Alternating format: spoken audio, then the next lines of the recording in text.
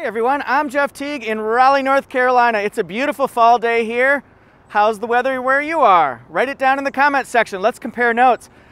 A famous hair band once said, come on, feel the noise. We'll get wild, wild, wild. Well, to me, the 2022 Sienna is wild.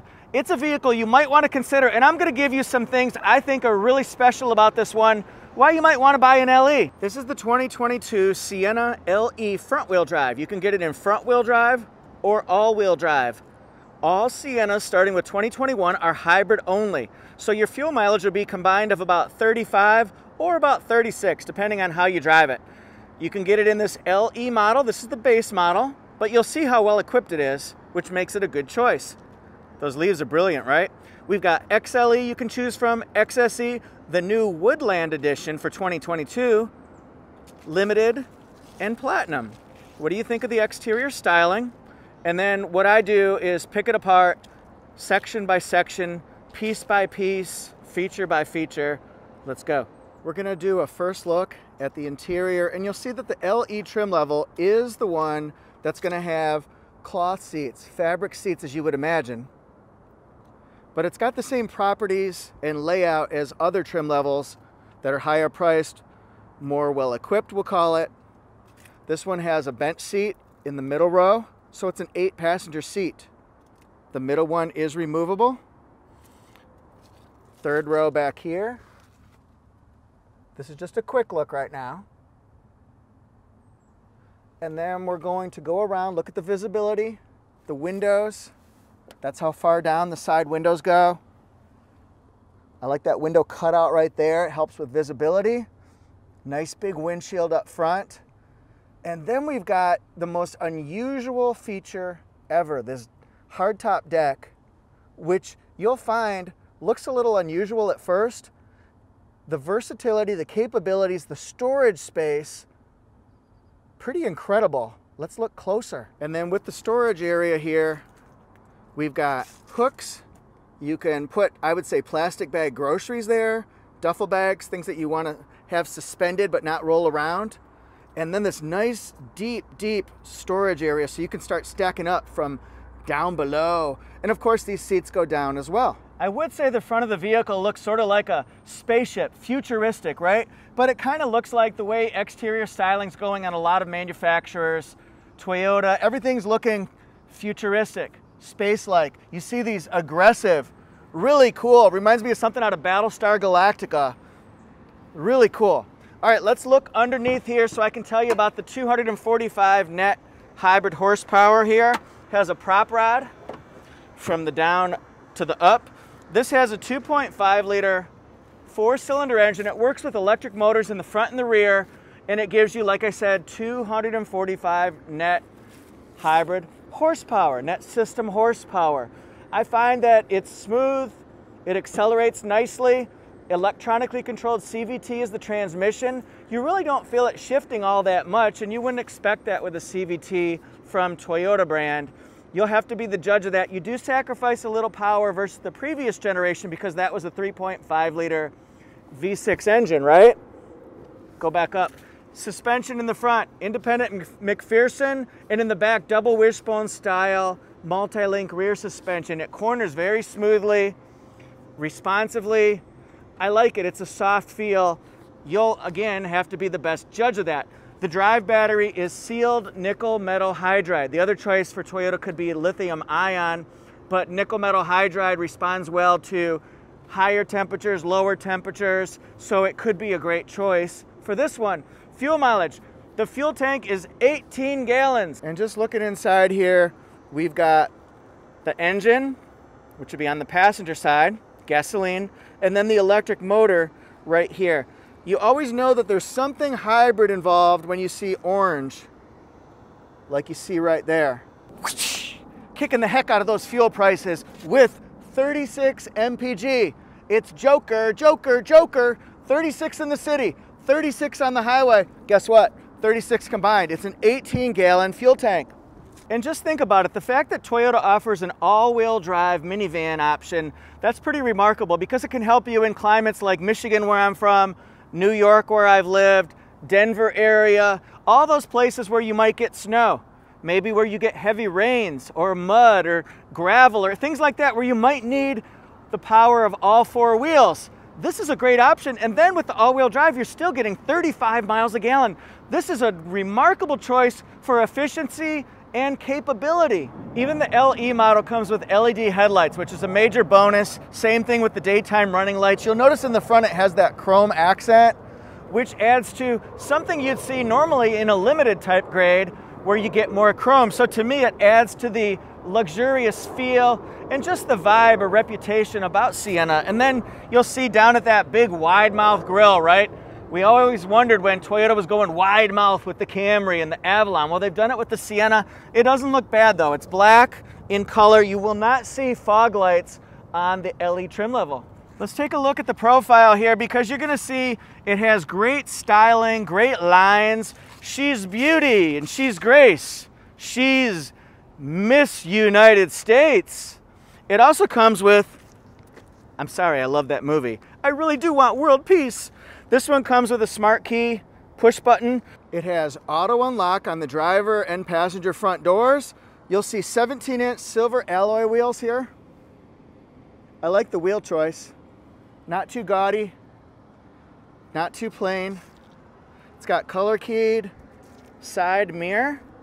And then it also comes standard with blind spot monitor, which means you'll also get rear cross traffic alert as well. This vehicle just came in, so it's not entirely clean. It has black roof rails, no moonroof.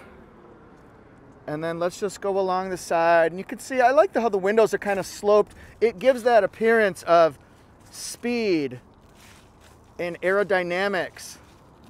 What about these tail lights here, you guys? Looks like a fishtail.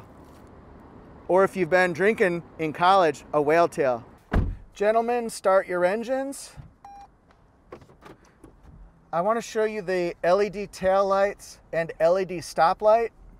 It's in the sun, so it's a little bit trickier to do it. I'm going to try to back up through the shade a little bit. If you watch Stargirl, the shade, bad guy, bad, bad villain. So let's just back it up.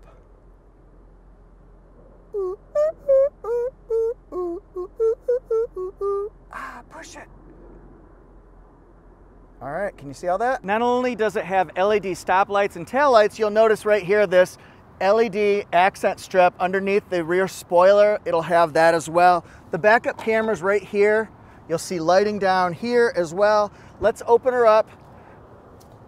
Sienna in black, hybrid blue. If this had the power liftgate, ooh, someone's been washing their car, me. If it had the power tailgate, you could do it right there with this little square. Now these seats right here, they can be folded down. I'll try to show you how easy it is.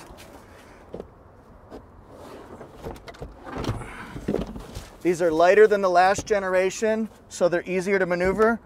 You can either do it this way or you can do it this way. Couple different options for you. But see, we open up a lot of room and we get to the temporary spare now. Now we don't want anybody to get a flat tire, but in the rare instance you did get a flat tire,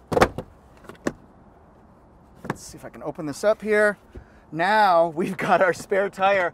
How clever is this? Not underneath, not under the seat, but right here in the side, which is space that you wouldn't use anyway. So I like it. Of course, it looks a little bit different than the other wheels, but it's temporary. So forget about looks. We need this for about 50 miles till we can change it and replace it. Holla. As I get in, notice this right here. It's a great place if you've got hip, back, knee problems, or maybe it's just a little bit tougher to get up into a vehicle because of age or whatever condition, then you can get up nice and easily. Here's the lever right here. Down here, pull that square, and that way you can free up a lot of space and you can recline. You've got a middle seat, it's smaller, but this is sort of an in a pinch seat, I call it. Maybe not, you don't want to sit there for the whole road trip between North Carolina and Arizona to the Grand Canyon. Am I the only one who felt bad for Joe Dirt when his family deserted him at the Grand Canyon? I felt terrible. Just keeping on, keeping on. This middle seat right here is removable and Toyota makes it pretty easy by labeling strap number one right here, strap number two. So you just pull this one, pull the second one, and it flips up in this manner right there. Looking in here, nice comfortable seats, plenty of room for driver and for passenger. It has a power driver seat. It does not have a power passenger seat.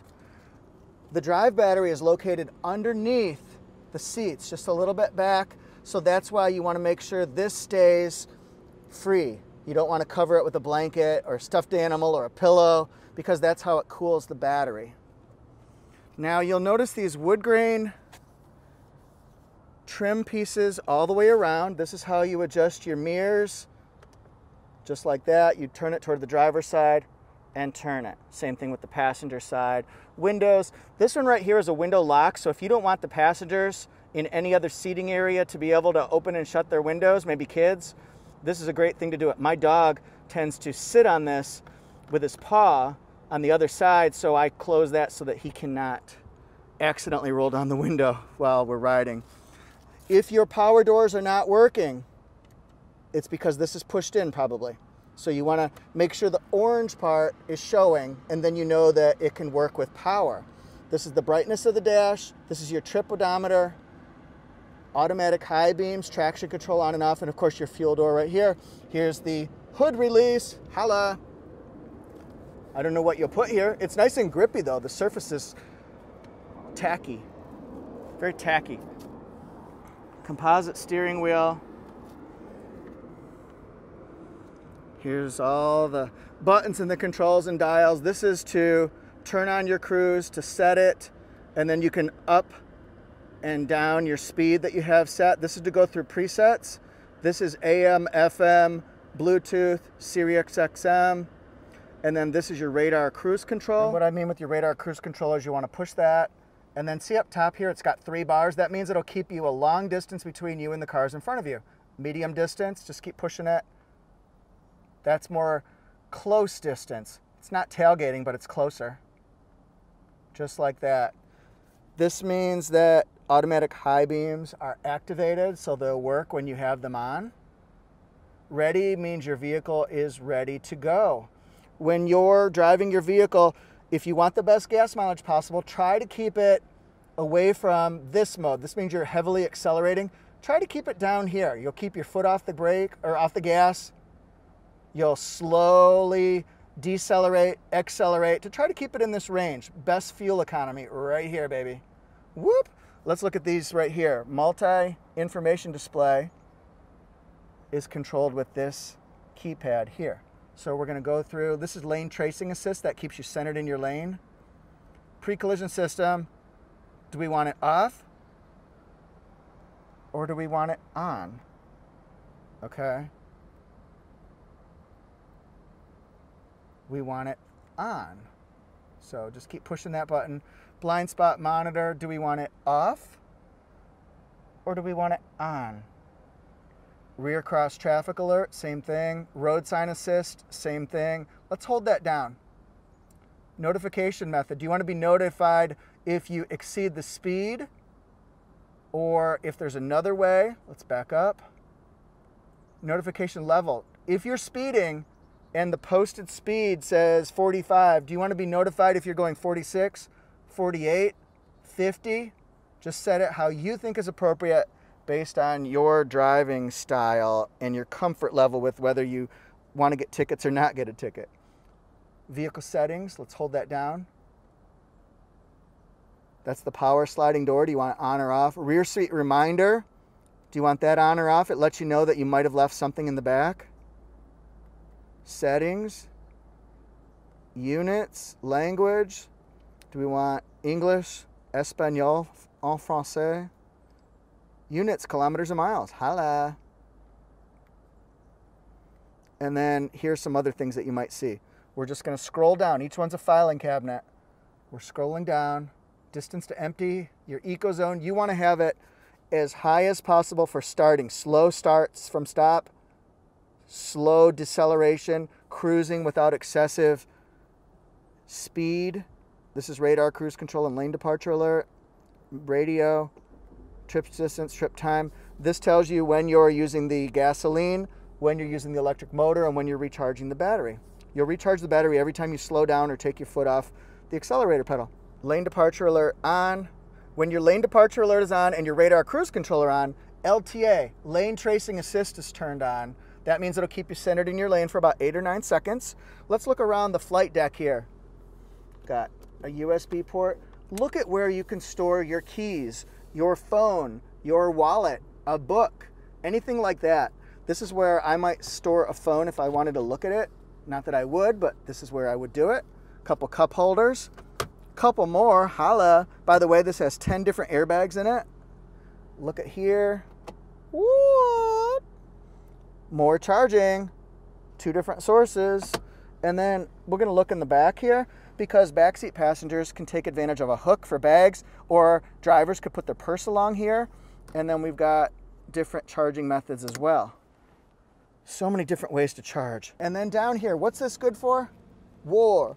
What is it good for? This is good for something, something. All right, we got a 12 volt circular port. Maybe you can put something here that might roll around typically. I think it's a great place. You could put a pen down there, I guess.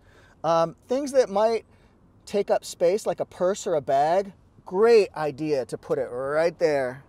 Right there, baby. All right, I'm gonna show you the multimedia touch screen. This is a nine inch screen. It's beautifully laid out. It looks futuristic and modern. I'm gonna show you how to set the clock for daylight savings time. Somebody gave me a hard time about that.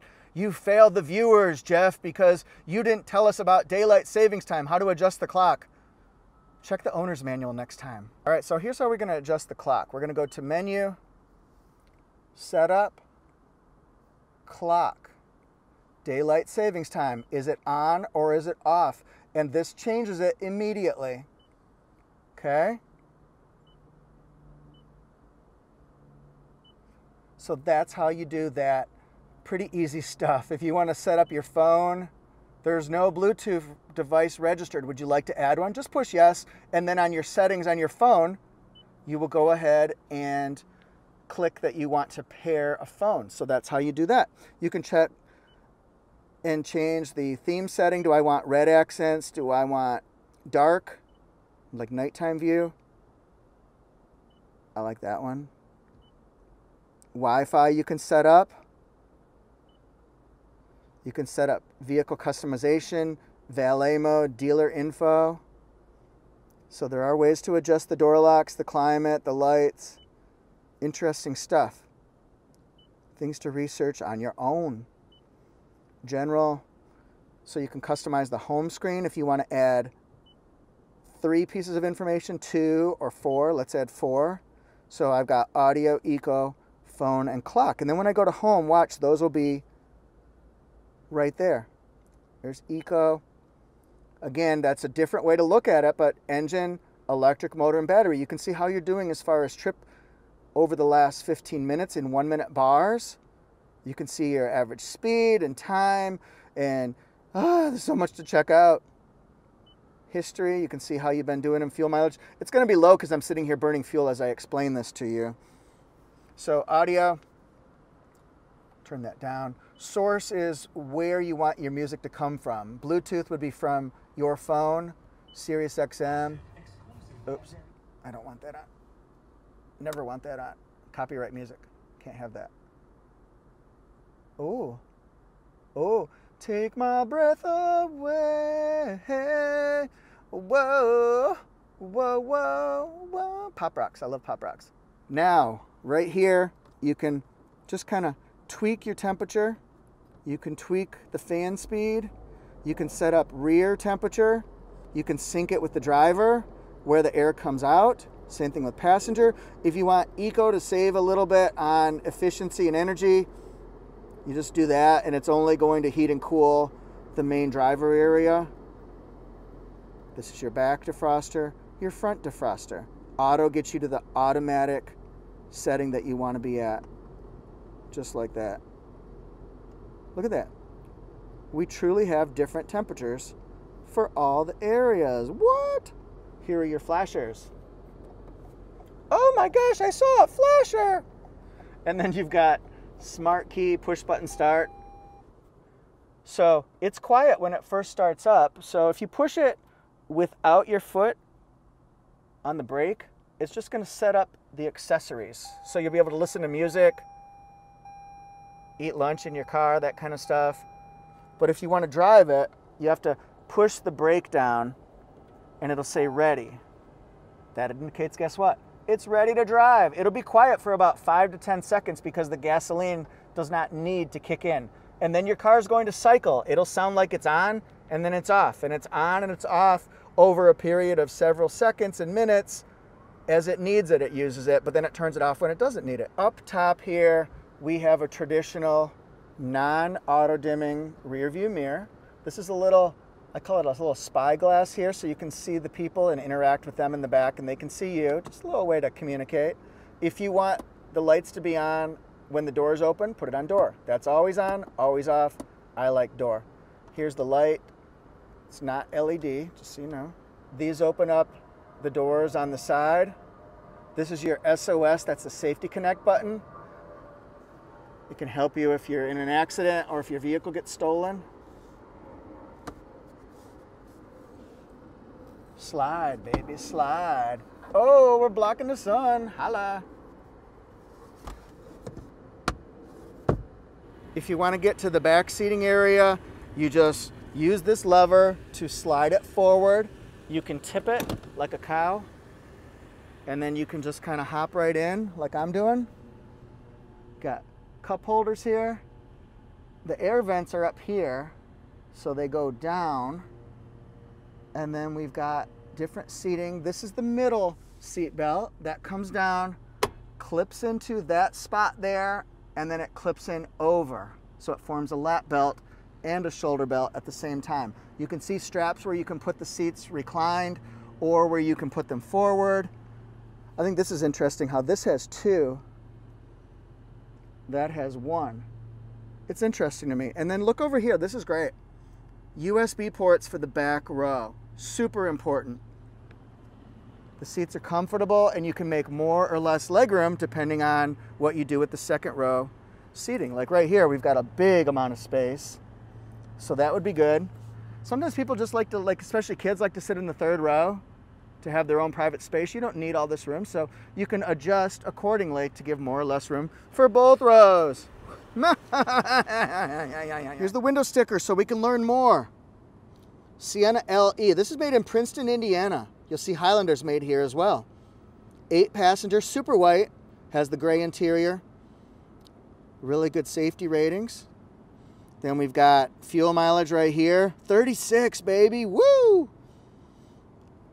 Okay, this has standard features, and we're gonna look at those right here. Toyota Safety Sense 2.0. has Android Auto, Apple CarPlay, Amazon Alexa, six USB charge ports, and a USB media port. That's amazing. Six speakers are standard in this one here. Okay. Here's the price. If you get the all-wheel drive, it goes up about $2,000 starting price. The roof rails are extra, so is this temporary spare tire. Could be worth it to you to get that. We're going to get it delivered from Princeton, Indiana, all over the U.S. with that delivery, processing, and handling fee. That's what that is. And then each vehicle will have no options, some options, or a lot of options. Right here, Toyo Guard Platinum. It has paint protection on the hood and the door, carpet mats, and the phone and cable charging package that gives you wires and cords so you can plug in and charge. 37.7 here at Fred Anderson. Hey everyone, thanks so much for watching. What do you think of the Sienna? Do you like the Sienna Hybrid? What trim level is the best one for you? Do you own one already? And did this video help you learn something about your vehicle that you might not have known before? It can apply to all trim levels because most of this is standard equipment and then just keeps working up from that point. So thanks everyone so much for watching. If you want to follow along on my channel, hit subscribe and the notification bell. And then Instagram, I'm on Toyota Jeff1 at Toyota Jeff1. And then my sister channel where I look at not just Toyotas, but all other brands, that's Auto Jeff Reviews. And you'll find Instagram at Auto Jeff Reviews. Thanks everybody so much. You're great. I love you all. Peace. See you next time.